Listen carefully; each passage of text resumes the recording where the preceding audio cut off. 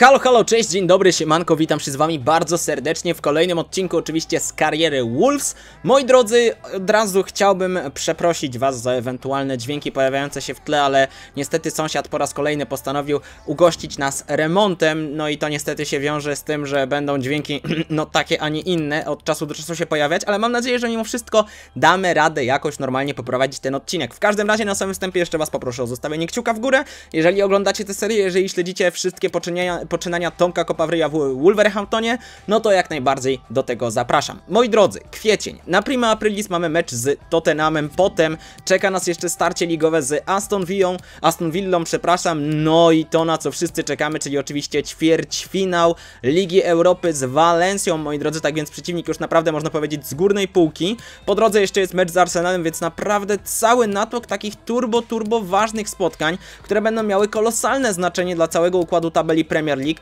no i jak przede wszystkim też dla Ligi Europy. W każdym razie, moi drodzy, zaczynamy od meczu z Tottenhamem. I to starcie gramy na wyjeździe i ja ten mecz zdecyduję się przesymulować. Wiem, nie powinienem tego robić, tym bardziej, że gramy na wyjeździe, ale chcemy się sfokusować na Lidze Europy, o czym mówiliśmy już wcześniej. Obecnie w lidze sytuacja wygląda następująco. Jesteśmy na siódmej lokacie w tabeli, mamy 50 punktów, przed nami jest Arsenal, który ma tych punktów 51, Brighton 52, Everton 52, ale moi drodzy, chciałbym, żebyście zwrócili uwagę, że mamy dwa zaległe mecze, więc zakładając optymistycznie, że uda się nam jakimś cudem wygrać z Tottenhamem e, na wyjeździe mimo zgarniętego wcześniej lania w FA Cup, no to mamy bonusowe 6 punktów, a to pozwoliłoby nam się uplasować w roli wicelidera Premier League.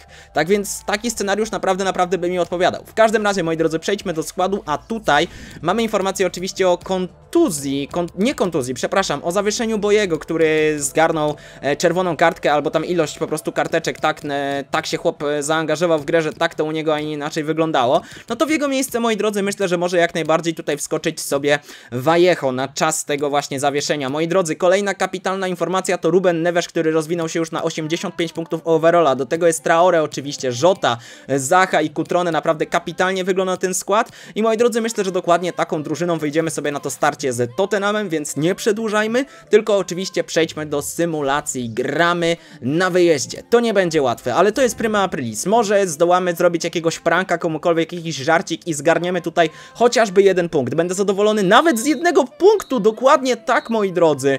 Ferro z brameczką. Do tego Harry Kane, no niestety on już zdobył gola wyrównującego, ale tak czy siak, jeden gol, tak jak mówiłem wcześniej, jestem bardzo zadowolony. Co więcej, zagrał też Mutinho, Gibbs White i Dalot, więc naprawdę, naprawdę fantastycznie.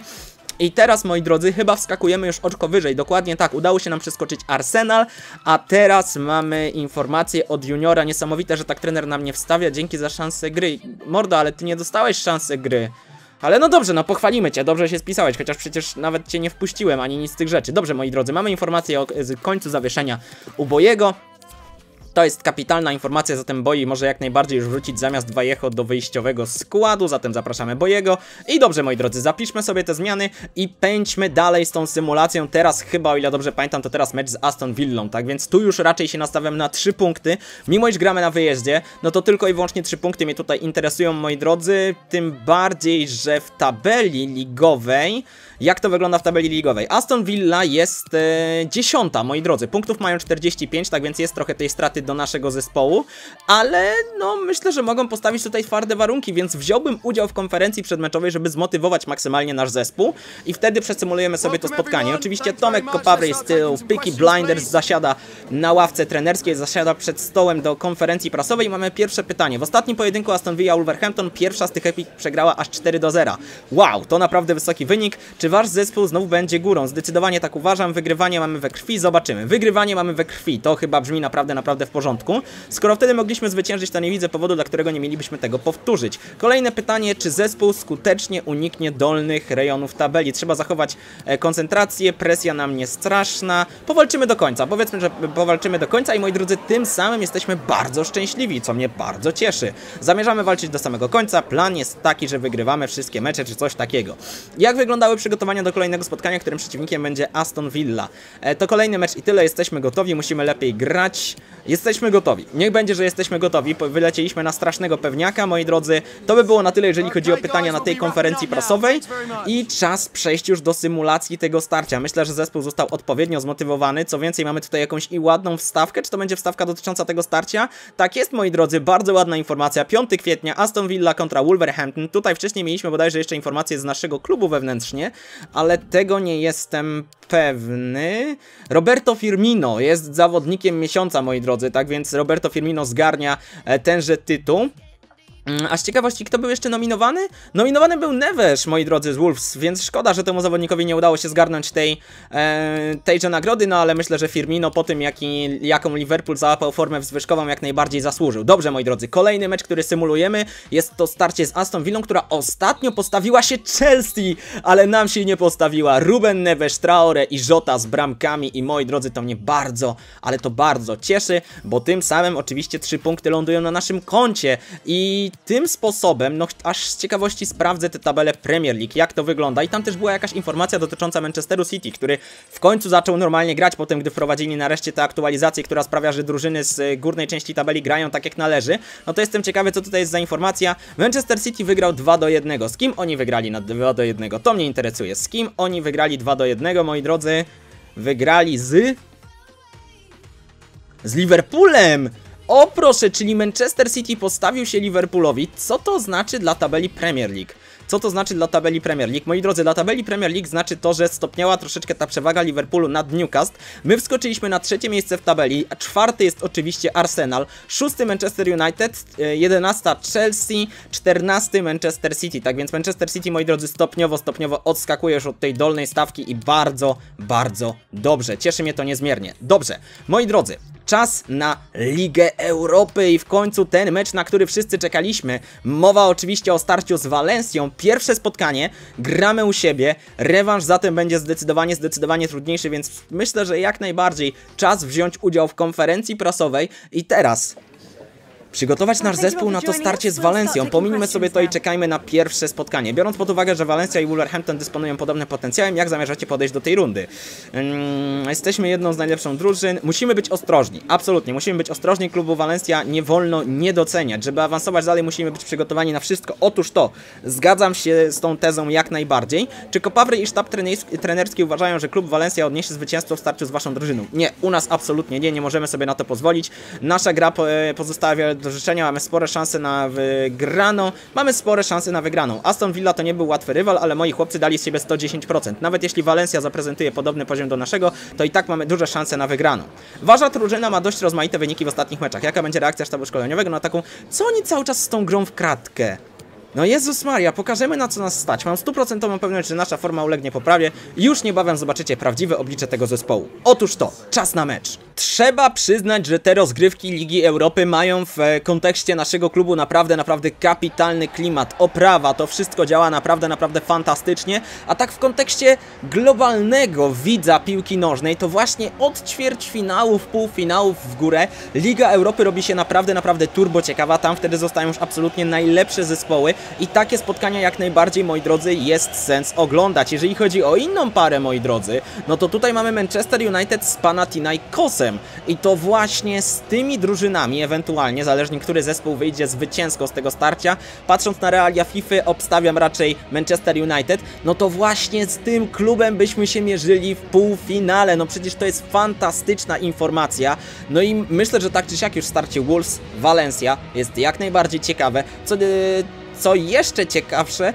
to po raz kolejny trafiamy na zespół, który ma bardzo, bardzo podobną kolorystykę do naszego klubu, ale Valencia, z całym szacunkiem, proszę się odpierniczyć. Liga Europy jest absolutnie, absolutnie nasza. Ta kolorystyka jest zarezerwowana dla Wolverhamptonu. Mamy skład gospodarzy i tutaj, moi drodzy, chciałbym go wam przybliżyć, nie ukrywam. Na bramce oczywiście Rui Patricio, potem w obronie Johnny, Bolli, Ferro i Diogo Dalot.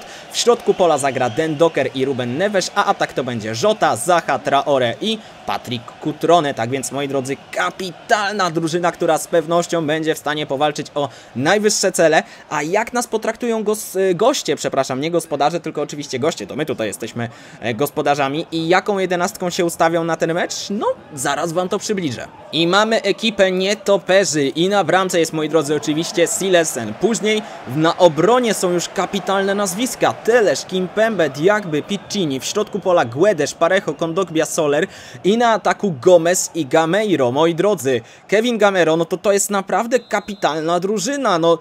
Absolutnie, myślę, że patrząc na tę jedenastkę, to jakiekolwiek wątpliwości co do klasy i jakości zespołu gości, no wszyscy teraz już stracili jakiekolwiek wątpliwości. Nawet nie czuję jak rymuje, ale moi drodzy, może poczuję tutaj akcję no nie, już chciałem to tak szybko zacząć z wysokiego C, ale to był zły...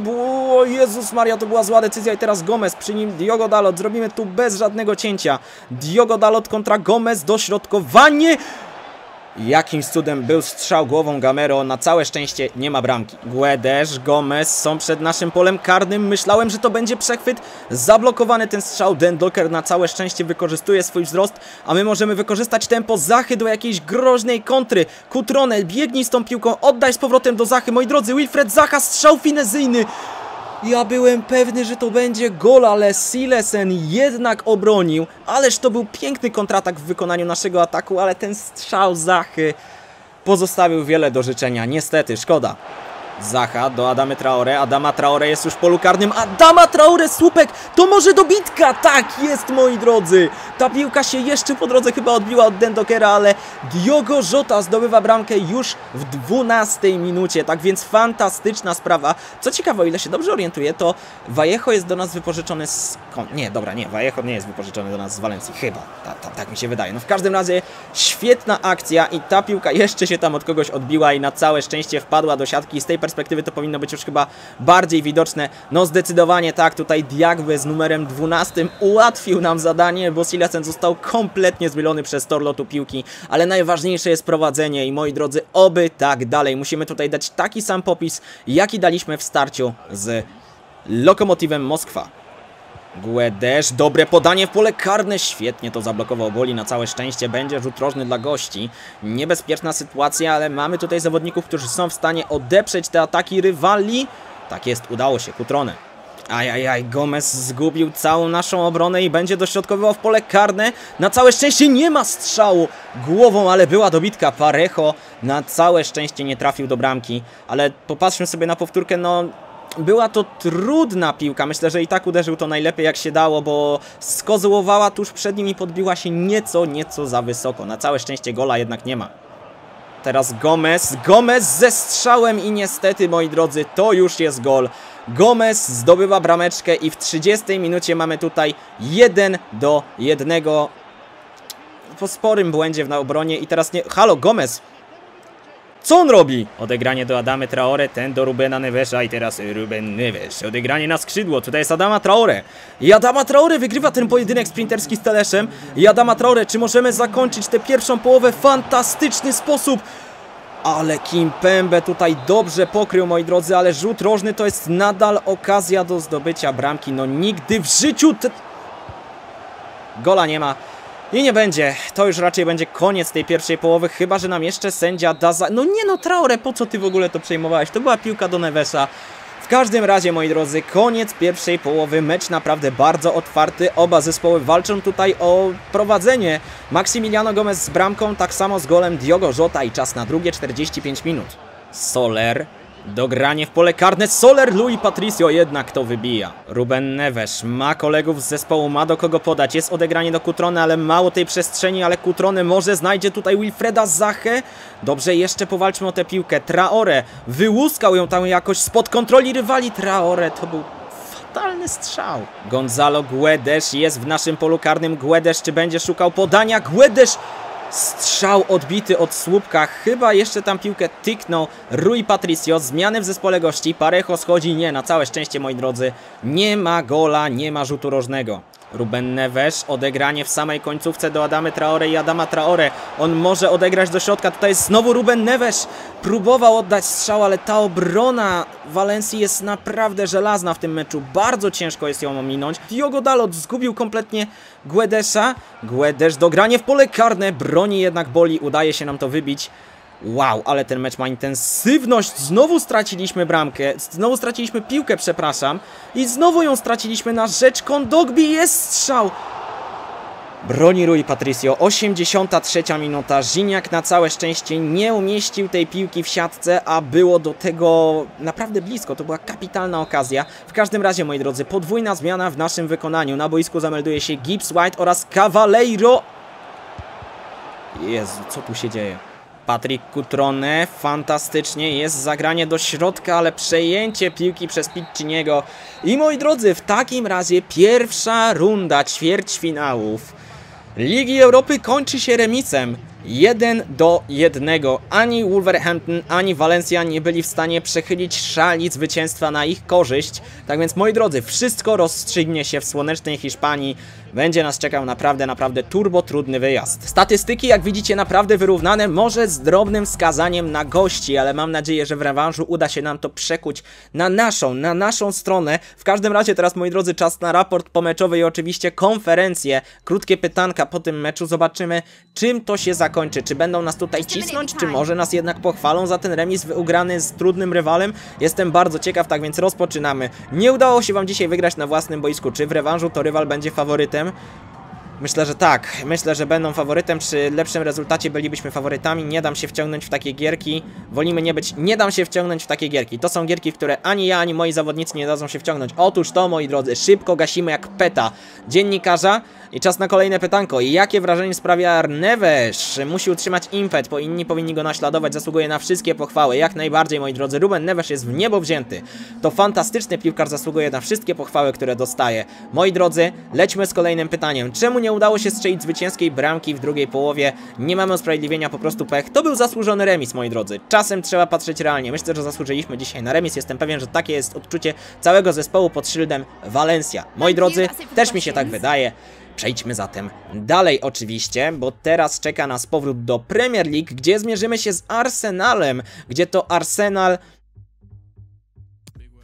Pytanie, czy gramy u siebie, czy gramy na wyjeździe. W każdym razie, moi drodzy, Arsenal siedzi nam na ogonie. Gramy u siebie. I Diogo Dalot nas prosi o to, żeby rozegrać ten mecz, ale ja tutaj jednak był dam szansę do Hertiemu, więc e, damy mu znać, że będą ważniejsze mecze, że raczej nie zagra w tym spotkaniu. Tak więc teraz, moi drodzy, zespół i czas przejść do ustawienia jedenastki na ten mecz. Tutaj raczej bez zmian Bakayoko wróci do wyjściowego składu, do Herty na prawą obronę i pozostali zawodnicy, którzy tutaj się znajdują, no tak, ławka będzie wyglądać tak jak wygląda. Czas, moi drodzy, zatem przesymulować. Tak, będę symulował ten mecz. Gramy u siebie i liczę, że w symulacji uda się nam tutaj wyłuskać jakiś korzystny wynik dla naszego zespołu. Zatem, moi drodzy, symulujemy to spotkanie. Gramy oczywiście na naszym stadionie. Skład niezmienny, a ostatnio Arsenal w naprawdę kapitalnej formie. Same zwycięstwa, a...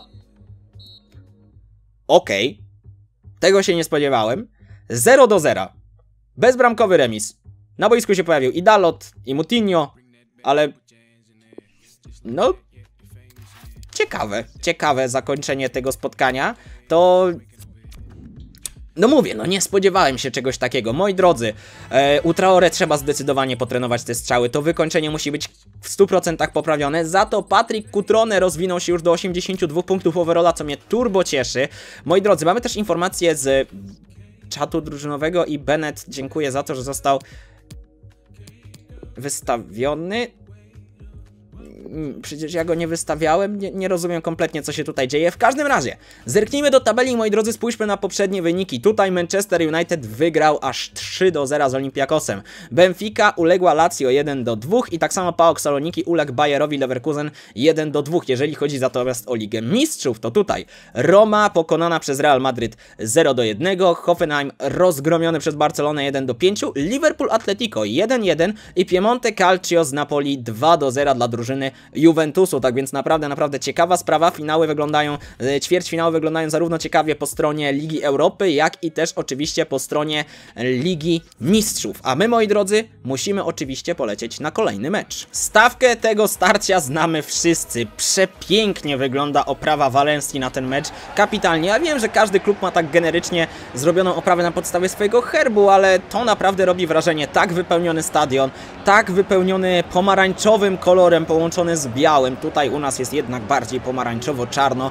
W każdym razie, moi drodzy, no Walencja też się nieźle komponuje w Ligę Europy. Trzeba to powiedzieć, moi drodzy, a w następnej rundzie, w półfinale, już raczej na 99% czeka na zwycięzcę tego starcia Manchester United. Przypominam, rezultat z poprzedniego spotkania to 1 do 1. W razie identycznego stanu rzeczy po 90 minutach czeka nas dogrywka, a potem ewentualnie rzuty karne. Jednak mam nadzieję, że uda się nam zamknąć sprawę w 90 minutach, chociaż będzie to turbo, turbo, turbo turbo, turbo, turbo trudne. Skład gospodarzy na ten mecz chyba bez większych zmian. Zagrożony brakiem występu w następnym starciu jest Diagby, jeżeli by otrzymał w tym starciu żółtą kartkę, ale tak, to skład jest identyczny, moi drodzy. Dokładnie taki sam jak w pierwszym meczu. Sile, Sentelesz, Kimpembe, Diagby, Piccini, Guedes, Parejo, Kondogbia, Soler i oczywiście Gomes i Gamero na ataku. U nas natomiast kilka zmian jest w porównaniu do poprzedniego starcia. Patricio w obronie, jak widzicie, na prawą stronę wrócił do Herty, a do środka pola zamiast Dendokera pojawił się z powrotem Tiemue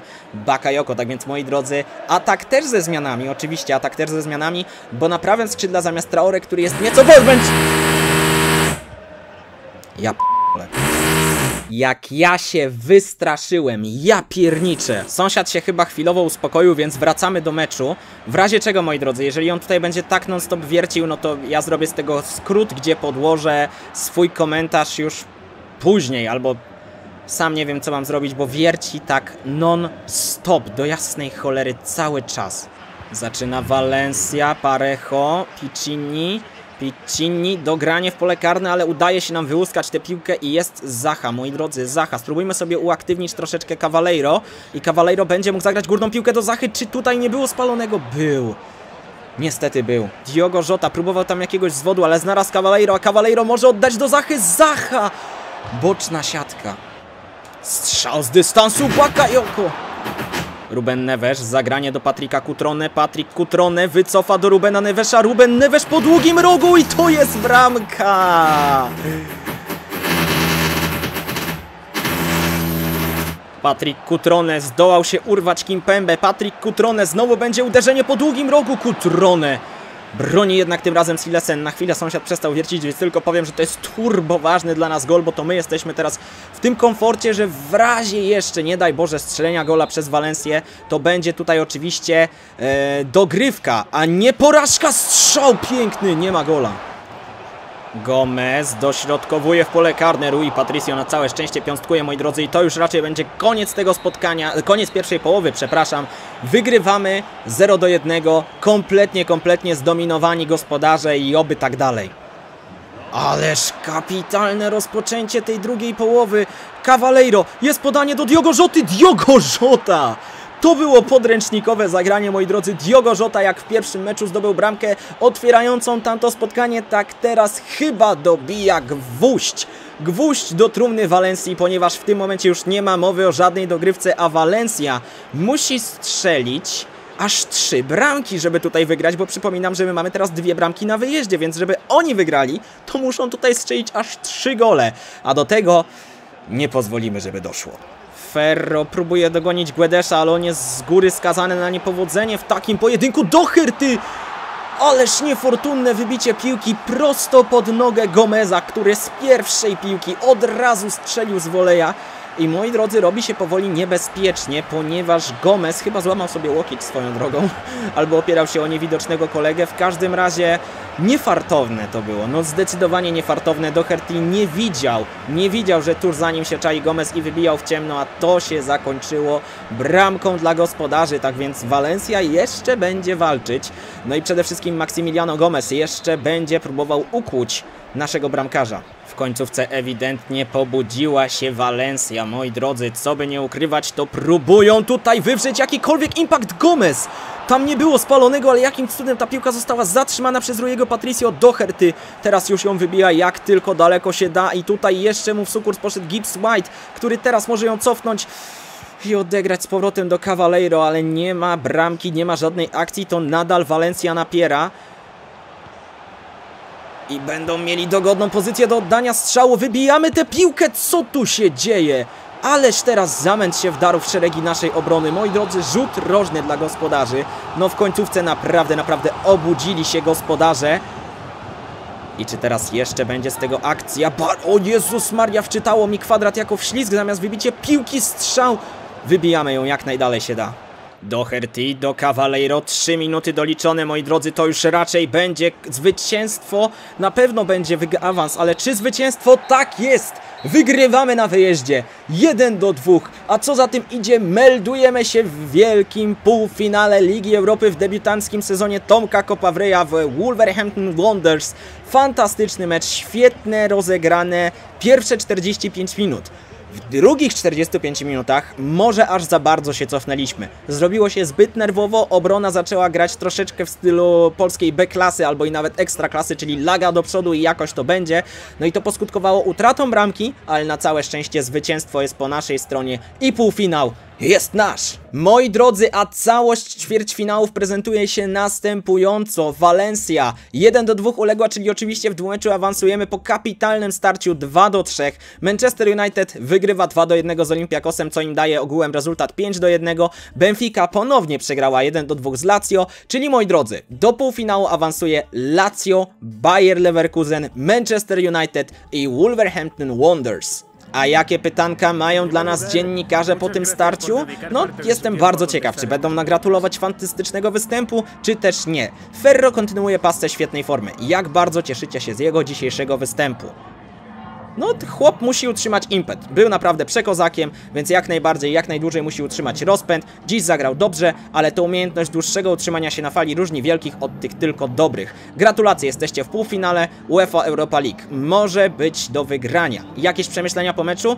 Kluczem do naszego sukcesu jest duch zespołowy. Mamy szansę dojść aż do finału. Tak, jak najbardziej, aż do finału, moi drodzy. Wszystko zdawało się nam dzisiaj sprzyjać. To sprowadza do nastawienia piłkarzy, a oni po prostu nie zamierzali odpuścić. Otóż to, to był świetny występ. Zdołaliście utrzymać zwycięstwo, ale chwilami wyglądało tak, to jakby klub Valencia mógł wyrwać remis. To prawda, to zdecydowanie tak wyglądało. Musieliśmy oglądać... Musieliśmy oglądać różne mecze. Nie wiem, co Państwo przez to rozumiecie. Może oglądaliśmy inny mecz. Bo moim zdaniem porażka dzisiaj nam nie groziła. Elo 5 pozamiatane, moi drodzy. Dziękuję Państwu za uwagę. Ja również dziękuję. Piękne zwycięstwo, moi drodzy. A to oznacza oczywiście powrót do Premier League, gdzie czeka nas mecz z Sheffield United. Mamy też informacje o przełożonych spotkaniach, oczywiście w związku z awansem do półfinału.